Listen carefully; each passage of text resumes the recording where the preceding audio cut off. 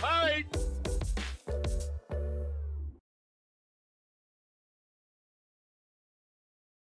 All right. Congratulations to those who have made it to the very end of ETS 2024. Please be mindful that this is not the end. This is just the penultimate thing. So, come on back to your tables. We're going to welcome a couple of wonderful people on stage. Gentlemen, if you'd please join me. We have Cameron Freberg with Austin Energy. Woo! We have Cengiz Yenerim with uh, ENGIE. Yeah. And then we have Michael Pesin with the Department of Energy. Excellent. And before we uh, got on stage, Cameron was talking about how he's going to open up with a couple of jokes. So, Cameron? Oh no. no. um, uh, none are energy conference appropriate. The malfunction, saved in the nick of time. Yeah. Um, okay, so we're going to be talking about the state of storage, which is definitely one of the more important conversations that needs to happen this week for sure, because it's a big problem. Um, but before we do that, I really like to open things up so that people can just sort of explain a little bit more about themselves and we can get to know exactly who they are and why they do what they do. So, with that, Michael, if you would, introduce yourself a little bit or talk about your projects and explain what motivates you to pursue energy innovation. So good afternoon. Is it? No, it's still morning. Good morning, everybody. So uh, I am with the Office of Electricity at the United States Department of Energy. And our office is responsible for everything from your generator terminal to the meter on the side of the house. So what industry calls T&D. And we'll, I'll talk more about this, but it's space becoming more and more complex, like everything in, in the grid today. So energy storage is becoming so important because you cannot really decarbonize the electric grid without energy storage. And the biggest motivation is making sure that we can address all the challenges, all of the above, as we call it. So this, the solution is not specific technology. The solution is how do you make sure that you, you can accommodate all the new emerging evolving technologies going forward. Because if you only focus on what we have today, you will fail long term. So you need to see into the future, you need to see the vision, and this crystal ball is my main tool, of course. So this crystal ball is what we use mostly. Uh, but seriously, we're doing a lot of analysis. We have 17 national labs, which are the national jewel. They have best in the world capabilities to do analysis, develop new technology. And this is what we're doing to make sure that the electric grid can support anything what happens in the future, whether it's supporting decarbonization, addressing all the threats, physical, cyber, and storage is just one of the many tools in our portfolio, but this is the very, very important tool. Thank you. Cengiz? Good morning. Uh, my name is Cengiz Yenerim. I'm in charge of uh, risk and strategy for ENGIE's market-facing business here in the US. Um, what motivates me in, in this industry? I mean, I think usually the answer to these kind of questions usually start with um, some inspiring story for someone as a kid that saw something and decided they want to be an energy. I don't have that kind of story. I just ended up here. Um, but I guess what's worth mentioning is um, when I got in here, I guess what kept me here is um, this is probably true for everybody who works for the utility industry here is that our industry is something that keeps changing. There is no end to it. So this was true 50 years ago, but probably in the last 20, 25 years that the rate of change has become immense with the energy transition and it's become such a profound thing to do. And personally for me, um, for me to have uh, an interest on a subject, it has to be intellectually challenging for me. So that makes it difficult at home when we're having dinner and deciding who's going to mow the lawn. But um, at, when I'm at work uh, in this kind of industry, that becomes very challenging, and that's, that makes it very intellectually interesting for me. And uh, I'll just give one example. Uh, it was, I think, 2021. We were going through some restructuring in the company. I thought it was an opportunity for me to pursue something different. Things didn't pan out very well. So one of the offers in front of me, what I called the least of all evil, famous last words, was to actually get this position in our trading business, which was uh, just starting off at the time, relatively small. Um, we were signing our first power purchase agreements. Um, but turned out after three years, we're managing, I mean, my team went from three people to 20, and we're managing roughly 10 gigawatts of renewable uh, assets. We have tons of PPAs to go alongside with that, roughly 2 gigawatts of storage that's going to come online soon, which we're going to talk about. Um, algorithmic trading, power trading, gas trading, all kinds of businesses. Targets grew fivefold. So, uh, more of the story is it's an industry that keeps changing. Our business is going alongside with that, and that's really the, the motivation behind uh, staying in this industry for me. Thank you so much. And Cameron? Yeah. Well, my name is uh, Cameron Freberg. I manage the electric vehicles and emerging technologies programs at Austin Energy. Um, I was also formerly a utility strategist, as the slide shows, but I'm too lazy to update my LinkedIn, so it still says that. Um, so what we work on is a lot around you know customer adoption and resources, a lot on the transportation electrification side, other emerging technologies, and I'll kind of cascade into what excites me about that. Uh, one, I've never heard the word sexy used on an energy panel as much as I did in the last one, uh, so there's that. Uh, secondarily, is our customers and every average citizen, myself included, is having more interaction with energy than they have ever had before. And that's a lot of my focus. It's, it's, there's the grid side of things and how we integrate these technologies there, but there's the customer adoption side that you know, we want to enable our customers to adopt this. We want to maximize the benefits to them, whether it be energy storage, as we're going to talk about, uh, uh, vehicle electrification, you know, smart devices, all of that stuff. They're all part of that equation now. Each individual customer is. It's not that one-way flow of power plant, transmission, distribution, meter, customer. That's it. It's now uh, customers adopting these technologies, us figuring out how to integrate them in our system, maximize the value to both the grid as well as uh, our customers. And that's much trickier than it sounds. So being able to kind of be part of that transition is extremely exciting. You work way more externally than you ever did before, and that's probably one of the most satisfying parts of this transition. That's awesome. Thank you so much. Uh, and I completely agree. You know, I didn't expect to be in energy myself, um, and now that I've been in it, it's really hard to leave because of all the things that we talked about. Which I think at the heart of it all is people and solving puzzles, right? And solving puzzles that matter. Um, so, in order to like get a, I think a lot of people here kind of understand a bit about the industry. That's why you're here because you're amazing in in it. Um, but like storage specifically. What does the landscape look like right now? Um, and what are some of the barriers that exist? Um, Cengiz, do you want to kick us off? Sure. Um, and I, I wrote this this morning because I was reading the news. Uh, I think it was very fitting. Um, so I think the answer to the question really depends on what part of the country you're looking at. Um, I mean, I think we're all in Texas right now, so it's probably worth mentioning where, where Texas is with respect to storage, and, and there are some other parts of the country. I think overall, every state is going towards some kind of storage implementation, but obviously some of them are, uh, some of the states are moving faster than others. So I'll just share these two news articles that I read this morning. Um, one of them is related to California in CAISO. Actually, on the evening of April 16th, which was two days ago, um, in the evening, uh, battery storage was uh, generating or injecting into the grid at a magnitude of 6 gigawatts. So this was an all-time high, and at that time, it was the largest resource in the grid. So um, renewables were producing about four, natural gas was about five gigawatts, there was hydro about four, and imports were about four. So storage, in fact, first time ever, I think, it was the largest type of resource on the grid.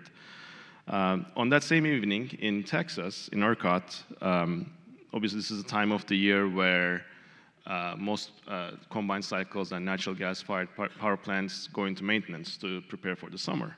So we don't have a lot of resources on the grid, and it was a day where wind was quite low. Um, so when solar was ramping down at around 8 p.m., uh, the prices in the ERCOT market shot up to $2,500 a megawatt hour. In some places, actually, it was 4,500 megawatt hours, 4,500 dollars per megawatt hour. So, what happened? Did we have any issues with the grid? You didn't obviously see anything. Why? Because actually, storage in Texas also was discharging when this happened at a rate of two gigawatts, which is also close to the all-time high. Uh, and this is just going to get bigger and bigger. So the reason I shared these um, articles, I guess, is because it's a super interesting time, and that's the good thing about the, the state of the storage business in, in the US.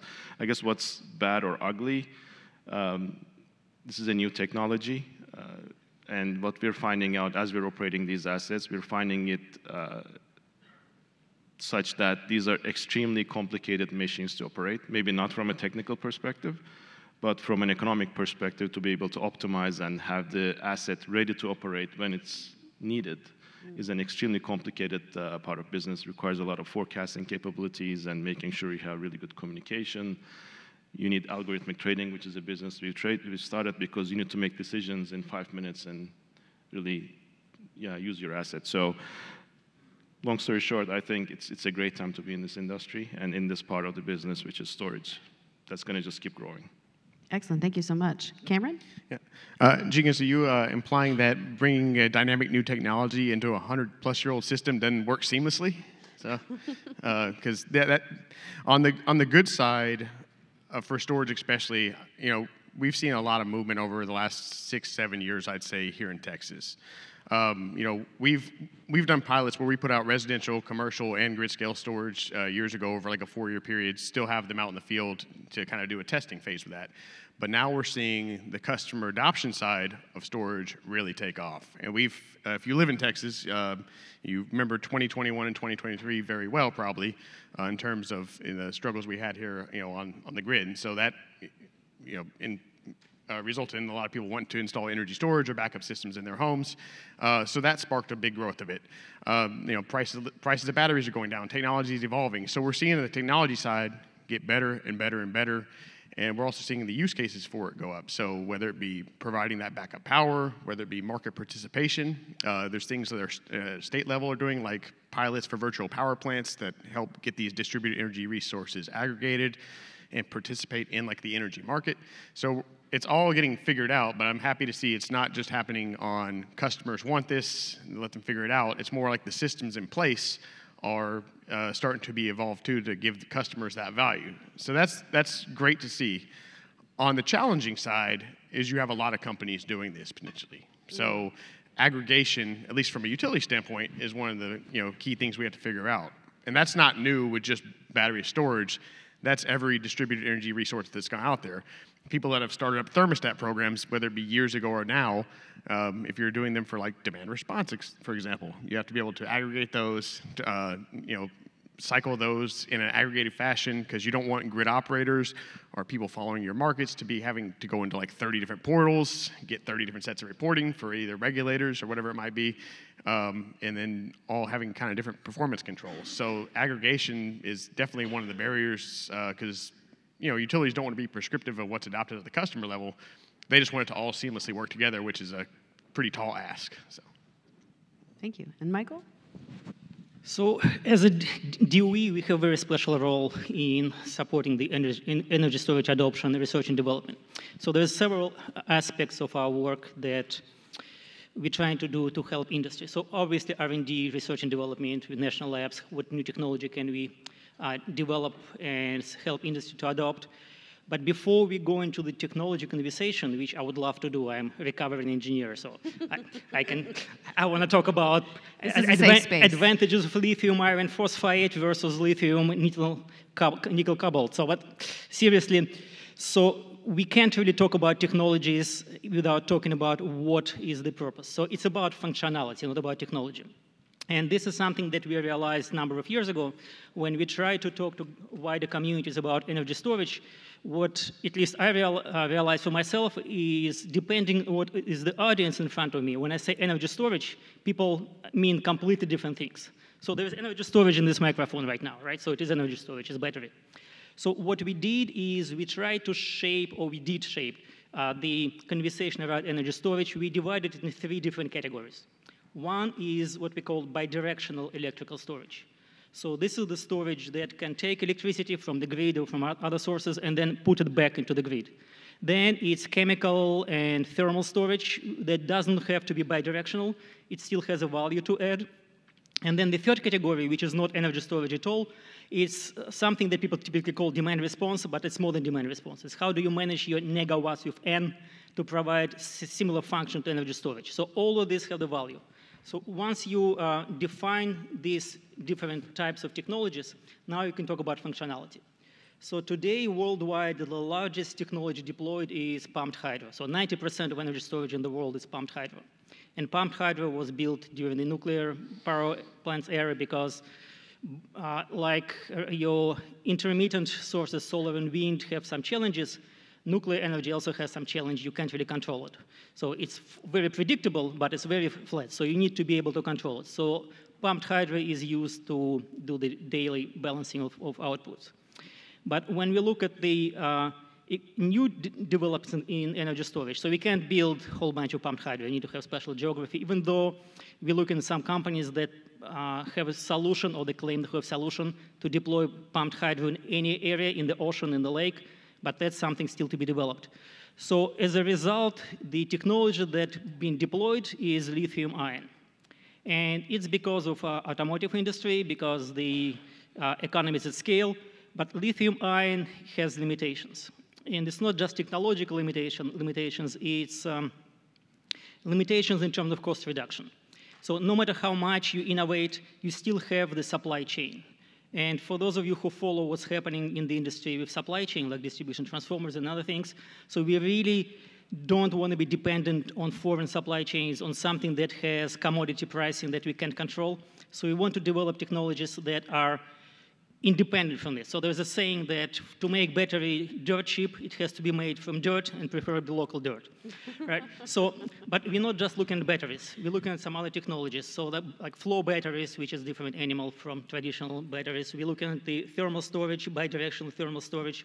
Uh, we're looking into the different batteries that are not lithium, like um, magnesium, uh, manganese, uh, there is uh, traditional lead, batteries that can be improved significantly. So there is a lot of R&D going into this, but the challenge is with utility adoption.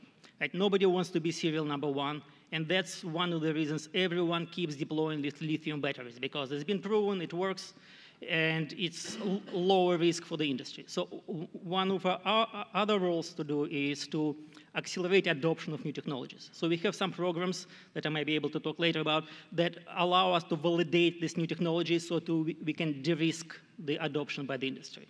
And I think that's enough for the beginning.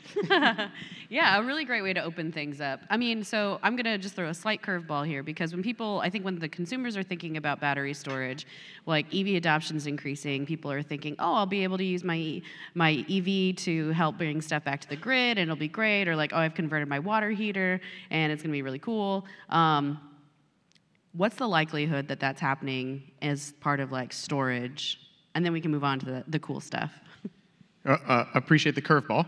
Yeah. Um, so uh, I think that's going to be a huge part of the storage equation because one, you know, you're going to have customers that go out and install, you know, standalone battery storage, whether it be in their garage or their properties. Uh, commercial businesses putting it, um, you know, kind of on their property as well for reducing things like their demand charges, et cetera, et cetera. But we already have between 40 to 50,000 batteries on wheels here in Austin. And so the fact that you don't use your car nearly as often as you think you do uh, is one thing. Um, and having that as kind of a secondary asset to you can either discharge to your home or eventually back to the grid, I think that's going to be a real part of it because that's an asset you can use and kind of stack the value of that within your own. I mean, you're using a car probably one to 2% of its life. So having that battery available to do things like backup power, uh, ultimately participate in like maybe through your utility, like the energy market, things like that, and get other value out of it, it's going to be huge. Uh, there's a lot of stuff that has to happen to get there. Uh, things like standardization, uh, you know, with it, whether it be like through utility standards of like interconnecting that to a system, uh, getting that into your home, things like that. That has to exist. I mean, we came across uh, several uh, just very elementary things that weren't there uh, when we tried to put batteries in the first time. Things like fire suppression standards and you know permitting standards, things that didn't exist. Um, it's very hard to permit something when there's no permitting process to do it. Um, so, uh, kind of paving that way for vehicles to allow for that too is uh, is going to be necessary.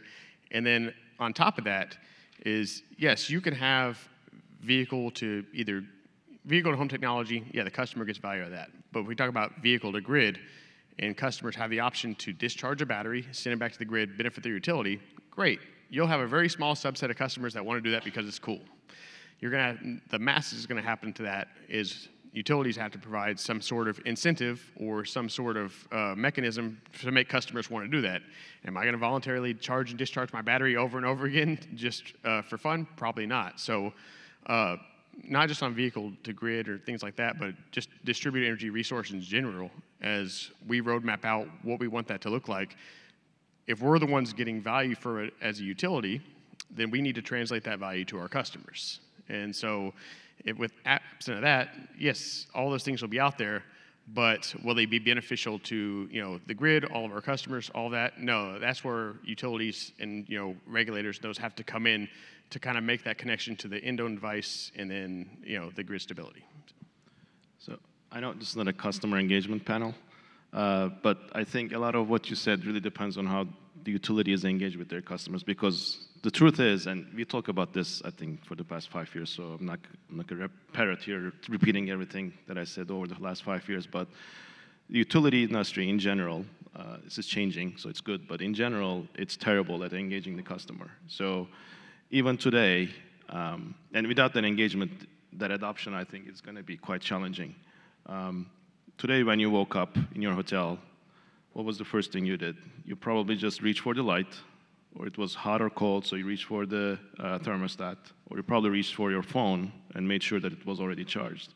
All of the, those three things depended on kilowatt hours to be available, but you didn't really think about kilowatt hours when you were doing those things. So, but unfortunately, the way the utility industry really interacts with people is through the bill. Here's how much kilowatt hours you use. We don't really engage in terms of resilience or in terms of um, making sure the assets you own, such as an electric vehicle, really is, is a monetary thing that you can actually monetize.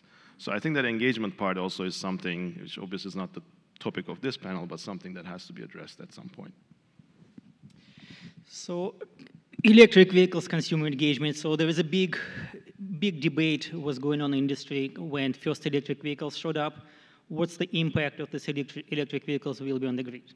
And what I was saying from the beginning is depending how you approach it. If you leave it unchecked, it will be something really bad happening to the grid because you're going to overload your distribution transformers, you're going to create new demand. But if you create ability to manage those electric vehicles, which are batteries on wheels, and do it in a way that customers can accept it, then it can be used to support the grid.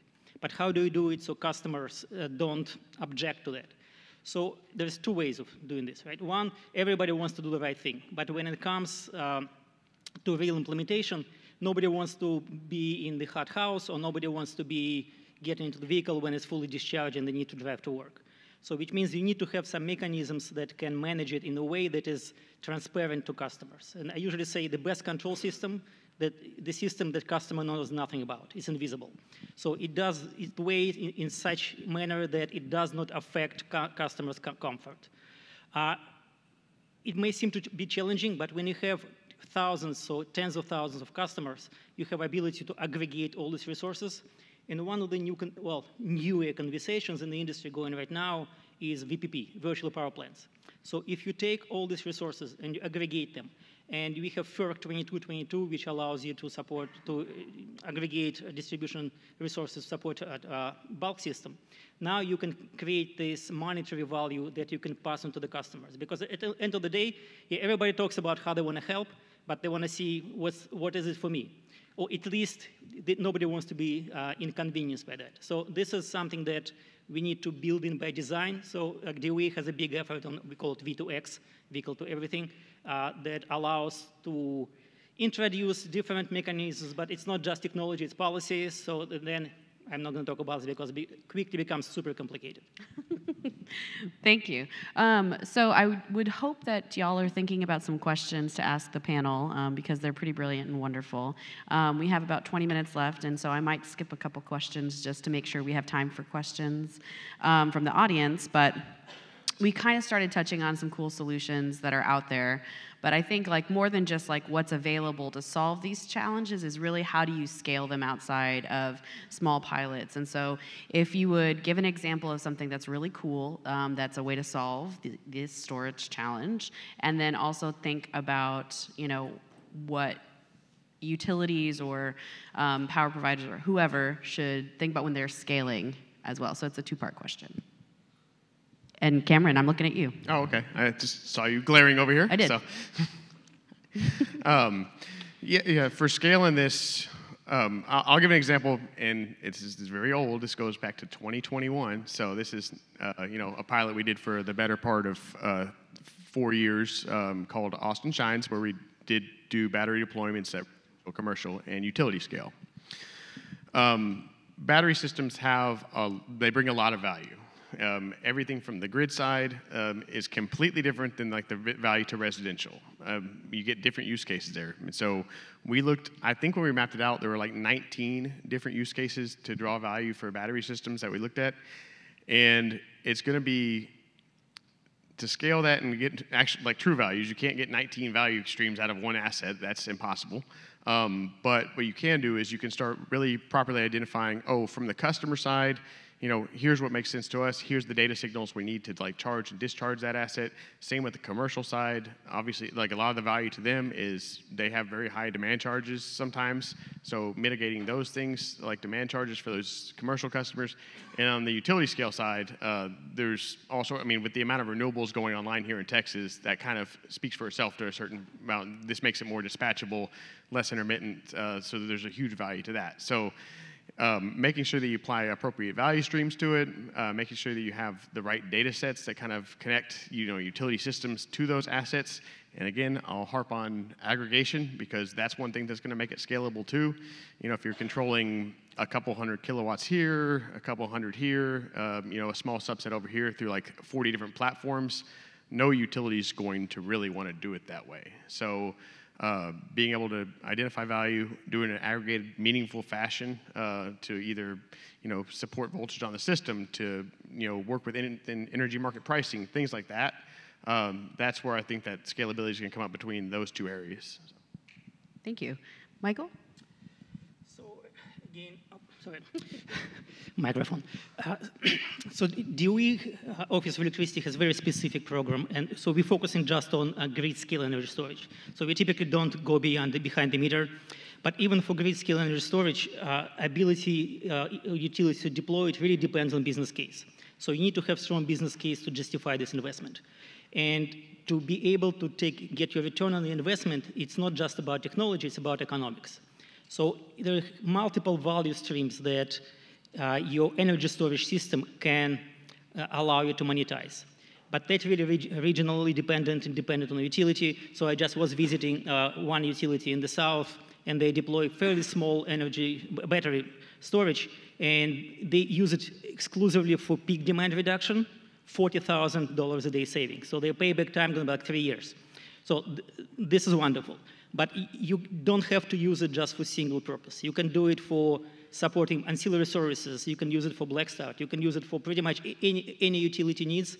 But to do this, you need to validate this. So one of the efforts or one of the programs that we have at the, at the office is uh, technology validation. So we're doing analysis for specific use cases, and we have a new program that has been funded uh, starting 2023 where we can take this technology, put it in the lab with hardware in the loop, and validate specific use case. So not just validating the technology performing uh, the way that uh, your manufacturer claimed, but how can it uh, perform under specific conditions within specific use case. And we look at this for what we call techno-social economic analysis. Because one big component there is energy justice. How can you make sure that this technology can support everyone? Right? So it's easy for people who have high income to buy power walls with solar panels and take all the benefits, but we want to make sure that nobody's left behind. That this technology, when it deployed, has societal value for all communities, especially disadvantaged communities. So this is another big as aspect of this effort that we, we, we have. Thank you. And Cengiz?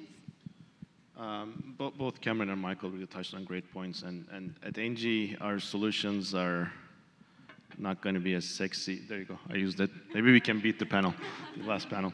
Uh, they're not going to be as sexy. They're grid scale solutions. Um, but I, I, do think they're very critical for the renewable boom, just like Cameron said. So um, one example is we've obviously we made a big bet as ENGIE to um, to invest in storage. So we uh, went and bought Broadreach Power last year integrated it, and we're developing significant amount of grid scale storage in, in ERCOT and in California. They're all lithium ion, so not as fancy as, as what Michael was saying. Um, but that's a good point. But what's important is, for example, ERCOT last week came up with their load forecast. Um, for 2030, their peak load growth, they're projecting it to be at 152 gigawatts. That's just a number. But as a reference point, last year the peak load was 86 gigawatt, gigawatts. So, uh, and that was an all-time high. So ERCOT is projecting the grid's gonna pretty much almost double in seven years. Yes, we're building a lot of renewable plants, but to Cameron's point earlier, we're not going to be able to just serve that load. Even if half that forecast is off, even if we just grow by half of that, that's still a huge amount. And just building renewables to serve that increase in load is just going to be impossible. Even today it's challenging. In, in seven years, it will be impossible. So yes, batteries do have a place, uh, and we're investing in them, but we need to scale, to your question. And, and what's, um, what's going to be needed for us to be scale these solutions is that uh, one, IRA, obviously, it's, it's a huge, huge tool. Uh, that's the reason even European companies like, like mine are investing in the US because you can't really get these kind of rates of returns anywhere else in the world. It's because of the IRA. The second thing I think that needs to happen that doesn't exist today is the products that are needed to be able to scale these solutions. So for example, if you, have a, if you build a renewable power plant, um, the products that you can trade in the market to manage the exposure associated with a power plant are congestion revenue rights for basis exposure. You can sell block power. You can sell uh, renewable energy credits. You can sell block ancillary services. The problem is all of these products are designed for thermal assets. They're, block products, meaning you're basically selling a firm commitment, whereas your resource is intermittent, so it will only generate power when the wind is blowing or when the sun is shining. So when you ask all of these developers to build these projects and they go out and try to finance the projects by uh, utilizing these kind of products, it's like giving a four-year-old a gallon of kerosene and a box of matches. So something like the winter storm Uri is going to happen, like it did in 2021, and all of these projects are going to go bankrupt because their unit is not producing and they're having to buy back all these commitments from the market price, which is at incredible prices. So uh, long story short, I think big energy giants like ourselves and I think banks that provide liquidity to the market, they need to come up with different products. They need to invent new products that are more tailored towards storage and, and renewables. Um, we're trying to do some of that, but I think that needs to accelerate. Once it does, I think that's going to help uh, with more adoption of these different technologies in the grid. Excellent, thank you so much. And I think, you know, kind of at the root of all this is it really comes down to the people, right? There's a lot of education that has to happen on how to, to make these things work. And I'm not just talking about like engaging with customers to explain the benefits of these things and how they can take advantage, but also like internally within the utility space or within, you know, government programs and things of like how exactly we're going to get things from point A to point B and then launch, right? So thank you for all of that. I have one last question. Um, although I can take a pulse, Who's got questions for our lovely panel? Raise your hand. Okay, great, excellent. Okay, so one more question, and then we'll get to you. Um, my favorite question to ask panelists, especially for people who are in a constant state of communication with other professionals in their field, is what is missing from the conversation? Like, what's something that doesn't often get talked about that you really think should get brought to the forefront today? And with that, Cengiz, if you'll kick us off.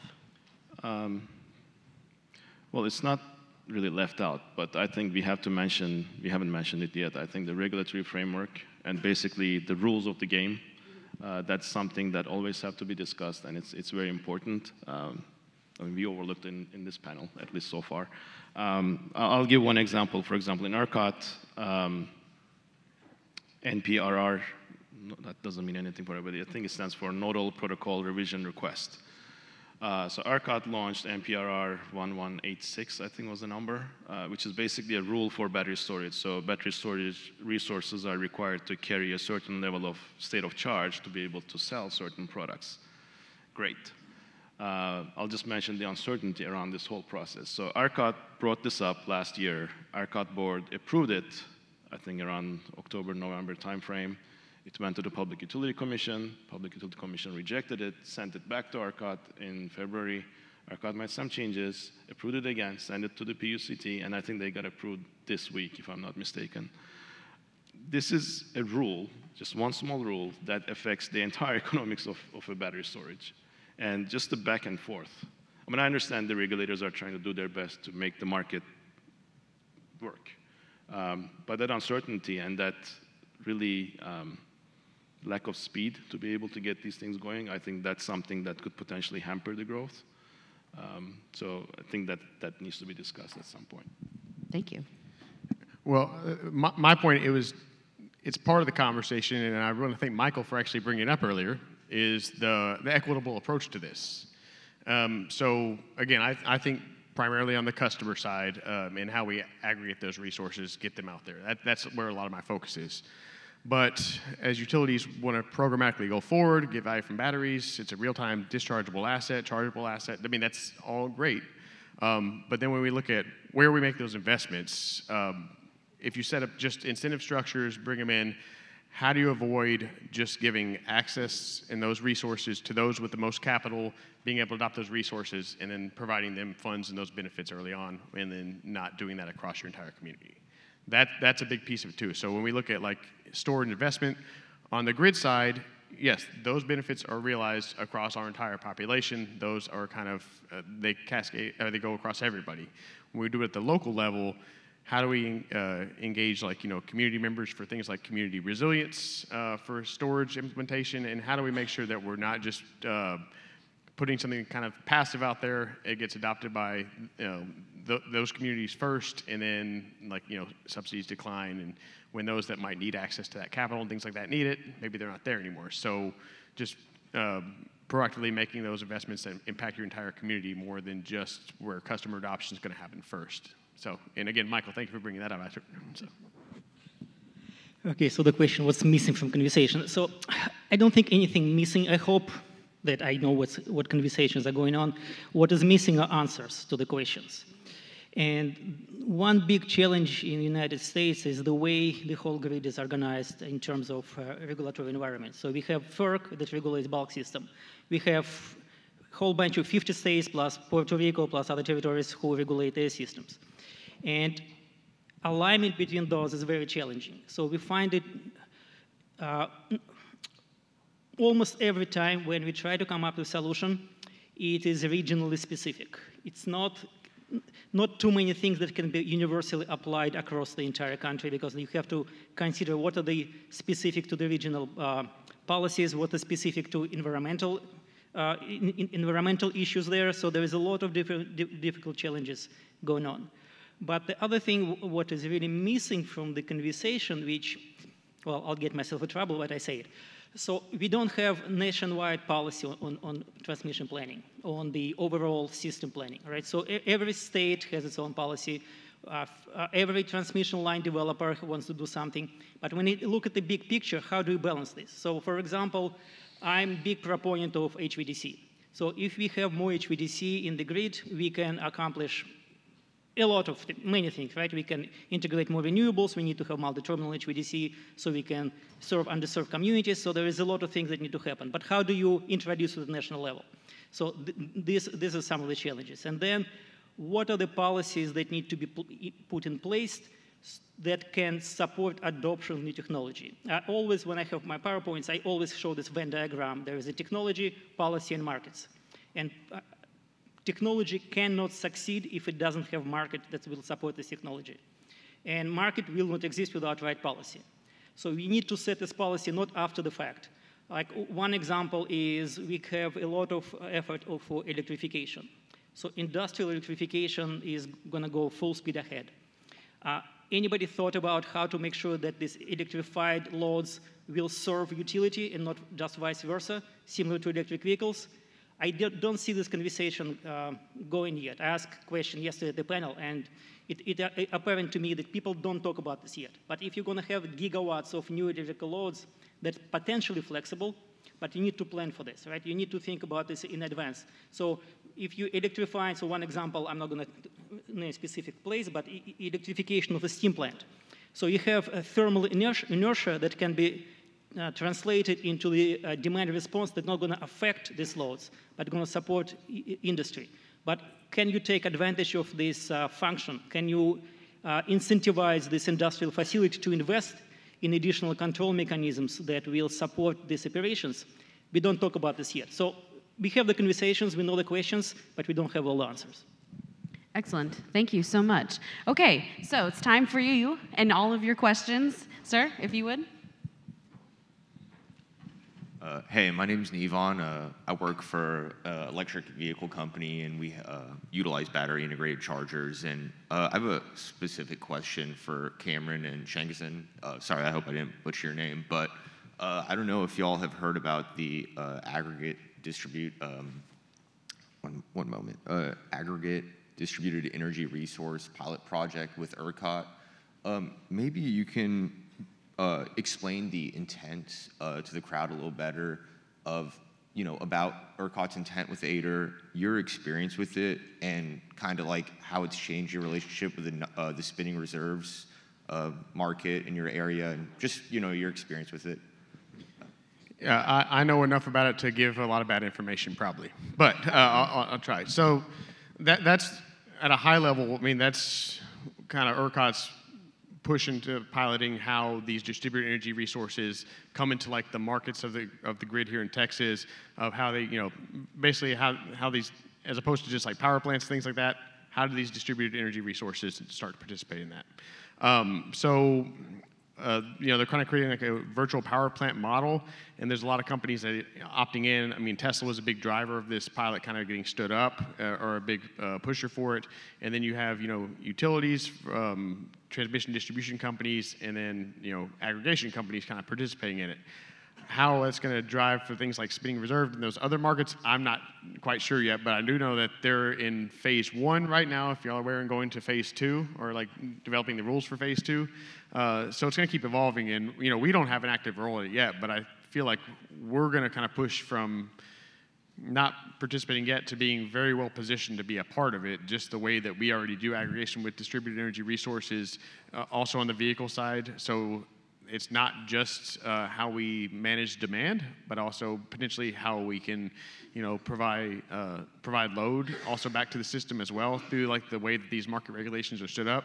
Um, but I probably already passed my level of expertise how much I know about it. Yeah, I mean, I, I, I mean, we in at ENGIE at that distribution level uh, resources, we, we don't really um, do a lot of analysis on that, but I can speak to your second part of the question about spinning reserves. So spinning reserves obviously is a roughly 3,000 megawatt market in ERCOT, and if you look at it, the amount of battery storage that's just coming online in the next two or three years. I mean, I cannot offer price views here, obviously, because of legal reasons, but uh, if you consider all of that battery storage that's coming online, along with all these things that uh, VPPs and ADR, if you add all on top of that, you know what's going to happen when all these resources that are capable of providing this service, if it floods the market, which is a small 3,000 megawatt market, you know what's going to happen. So uh, I wouldn't rely on that uh, to, to, as, as a long-term uh, revenue stream to, to be able to finance these things. Excellent, thank you. We have two minutes left. If there's another question? Yes. Hi, uh, Cheryl Velasco with Rappahannock Electric Cooperative. Um, how can we, as utility professionals, help alleviate some of the concerns about the environmental impacts of the manufacturing of these storage, specifically batteries, um, and end of life disposal? Yeah, I, will take a first shot. Uh, so I, I, think I mentioned a little bit about the lithium batteries being uh, dependent on the supply chain of rare earth um, materials. So like right now we have significant challenge because of the war in Ukraine. So Russia has the biggest, uh, uh biggest supply of nickel in the world. So we, we see the supply disru disruptions with the nickel. Uh, so this is supply chain. As far as environmental impact, I think it's very closely connected. So the cobalt, uh, I'm sure you've heard all the story, stories about the child labor in Africa uh, uh that uh, mining for cobalt. Uh, what are the environmental regulations there? I'll let you guess. Not very good. So when we look at the, uh, typically for any system, when we look at the um, carbon footprint, we look at the life cycle. So you, you, have to produce, so it has emissions. Then you have to operate, it hopefully doesn't have emissions. but then you have to dispose. It has another set of emissions. So when you're analyzing any technology in terms of uh, what is the environmental impact, you have to look for the entire life cycle from the cra- cradle to, to, to grave. And this is the only way to um, compare apples to apples. Otherwise, it's really unfair comparison. And that's about time. So, could we please give the panelists a big round of applause, closing down this show? Thank you.